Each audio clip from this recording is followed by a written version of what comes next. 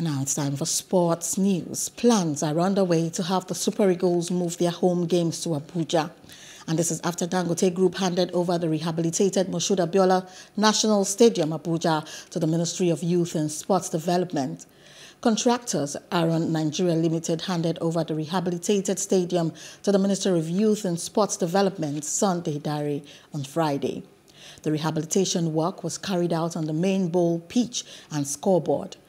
Dare had clamored for the return of the Eagles to Abuja on several occasions, stating the need to have a permanent home stadium. The Eagles last played at the Abuja Stadium in 2012.